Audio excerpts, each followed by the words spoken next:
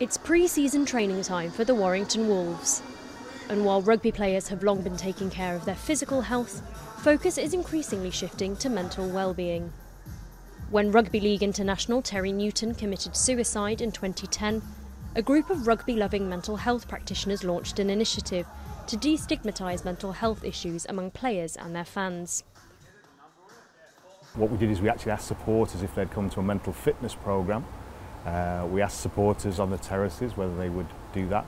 We asked them where they would come and where would they feel comfortable. And every Widnes, Warrington and Salford all said they'd like to come to the stadium. The dressing room's an ideal location because people have a, an interest to be in there and using former sports people to talk about mental fitness is, a, is an ideal hook for people. 75% of suicides in the UK are committed by men, and the charity behind the offload programme says this is partly due to men being less likely to seek help. For one participant who was suffering from depression, these special fixtures have had a powerful impact. To actually hear it coming from people that you could relate to just by the nature of, of, of rugby league made it even more special.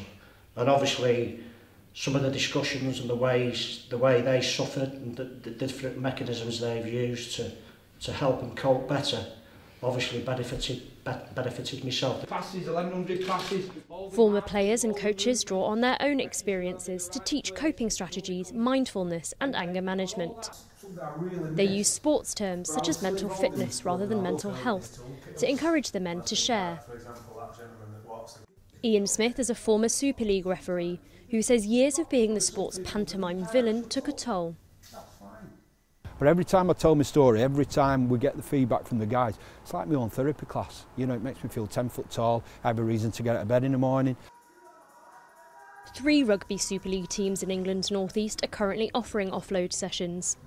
The charity has also been invited to run workshops with Manchester United and West Ham football clubs, as well as at some Gaelic football clubs in Ireland. It hopes that other sporting communities will roll out similar programmes to help even more men to take a weight off their minds.